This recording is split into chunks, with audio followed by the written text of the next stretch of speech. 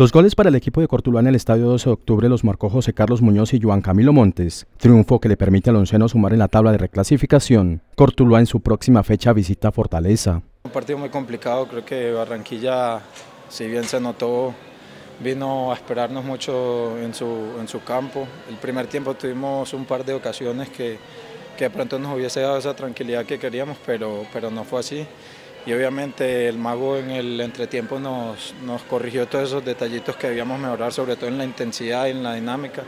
Y creo que en el segundo tiempo se vio y, bueno, gracias a Dios se, se, pudo ganar un partido complicado, que es un equipo que obviamente va a complicar a, a muchos equipos, valga la redundancia, pero bueno, y darle gracias a Dios por esta victoria que es importante para nosotros. Sí, gracias a Dios hoy se pudo marcar una vez más, pero es felicitar a todo el grupo por, por ese esfuerzo tan grande que hicimos. Eh, y bueno, gracias a Dios en lo personal me siento cada vez un poco mejor, creo que, que, me he ido adaptando partido tras partido. Que hablábamos por los videos que hemos visto, porque ya lo hemos enfrentado muchas veces, siempre se ha comportado Barranquilla de la misma manera, un equipo que es muy, muy fuerte, muy dinámico, muy intenso y que defensivamente lo hace muy bien.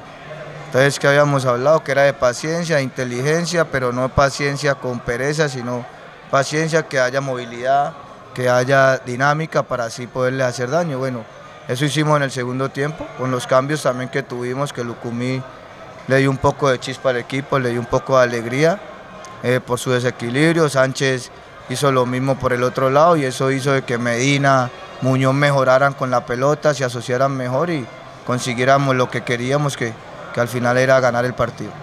Era bastante enredado y lo que habíamos hablado, como te digo, era de paciencia, paciencia, paciencia hasta que llegara el gol.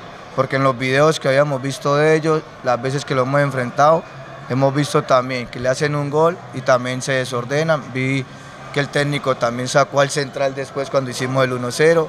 Entonces eso también nos dio la, la tranquilidad y la ventaja y además que le tenemos una fe grande a Montes, que lo metimos diciendo, tiene tres minutos pero va a ser gol hizo lo que le dijimos, ¿no? Que es un muchacho que es dulce para el gol, le quedan, le quedan y bueno, convierte. Hizo que hiciéramos 2-0 para que uno fuéramos más tranquilos.